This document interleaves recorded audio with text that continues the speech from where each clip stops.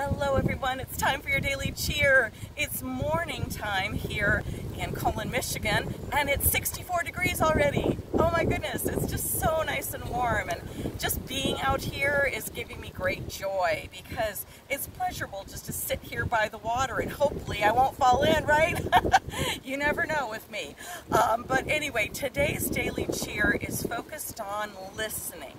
How can you be a dear friend to someone or a loved one and be a good listener without offering any advice. Sometimes in this world, we just need someone who's going to listen to us so that we can get it all out.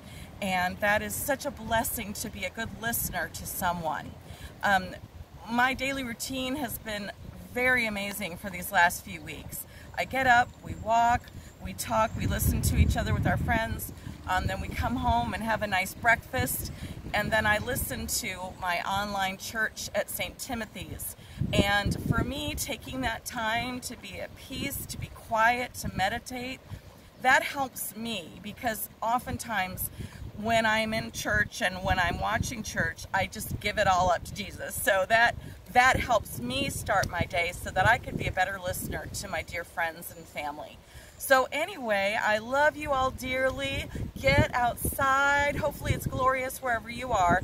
And uh, I might go swimming. Who knows? Anyway, spread cheer.